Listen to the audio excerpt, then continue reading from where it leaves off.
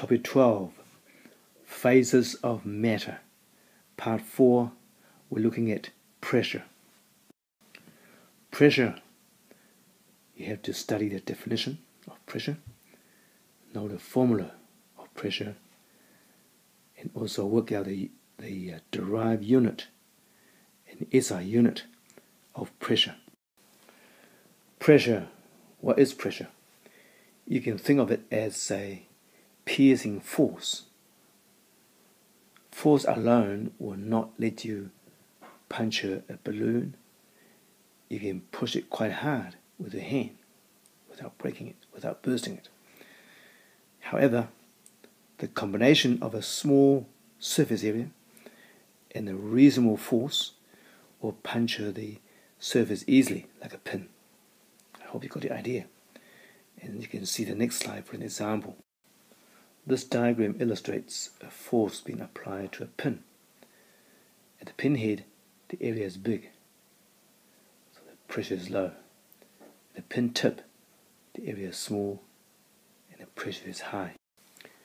A small surface means the pressure getting higher if the force stays constant. In terms of formula,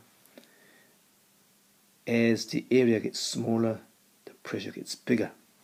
Some examples think of a nail, think of a pin, in high heels on an wooden floor. Pressure exerted by gases, kinetic model. We studied kinetic model as well last year in IT physics.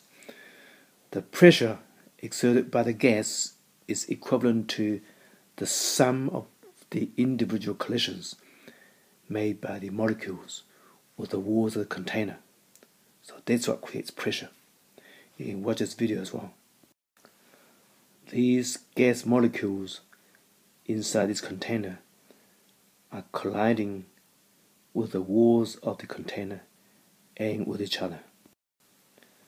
Consider an individual gas particle, this one here.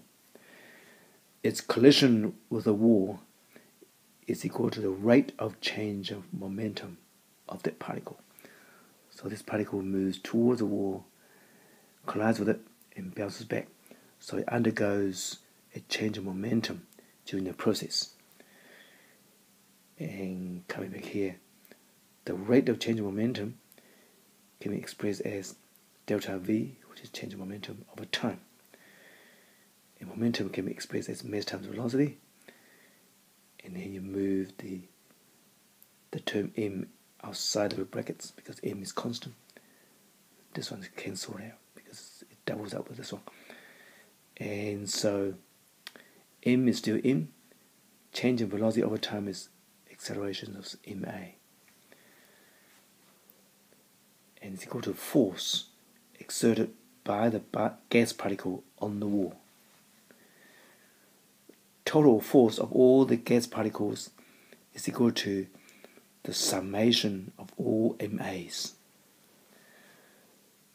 So, gas pressure is equal to total force exerted over an area. In other words, F over A from the definition of formula